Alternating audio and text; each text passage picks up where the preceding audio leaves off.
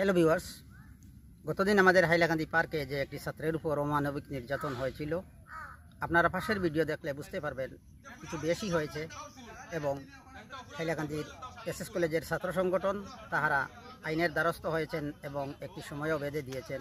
তাই তাদের এই, আমি মনে করি যে এই বিষয়টি হাইলাকান্দির ছাত্র সমাজের একটি কলঙ্ক বা লজ্জা হয়েছে। তাহারা মানে যে পদক্ষেপ গ্রহণ করেছেন বা আমিও আমার চ্যানেলের পক্ষ থেকে তারা যেন সুবিচার পায়, সেটা আমিও আমার চ্যানেলের পক্ষ থেকে প্রত্যাশা রাখছি। ছাত্ররা কি পদক্ষেপ গ্রহণ করেছে পাশের ভিডিও দেখলে আপনারা অবশ্যই বুঝতে পারবেন। আমরা টাইম দিয়েছি টোয়েন্টি ফোর আওয়ার্স আজকে দুঃখিত টোয়েন্টি ফোর আওয়ার্স অতিক্রম করে যাচ্ছে, কিন্তু একটাও কোনো কিছু নেই। মানে প্রশাসন বসে আছে কি, আমি এটা চিন্তা করে পাচ্ছি না। এত বড় ঘটনা হচ্ছে হাইলাকান্দিতে, কিন্তু একটাও একটাও কোনো কিছু হয়নি। এত দুঃখিত, আমরা যে স্টুডেন্টের উপরে আজকে এত বড় অত্যাচার হয়েছে, কিন্তু কোনো কোনো কোনো জাস্টিস নেই। আমরা যদি, আমরা সোমবার পর্যন্ত ওয়েট করব, যদি সোমবার পর্যন্ত আমরা এমন করে যদি কিছু হয় না, তাহলে আমরা বাধ্য, আমরা রোড স্ট্রাইক করব এবং হাইলাকান্দি স্ট্রাইক করার দায়িত্ব নেব।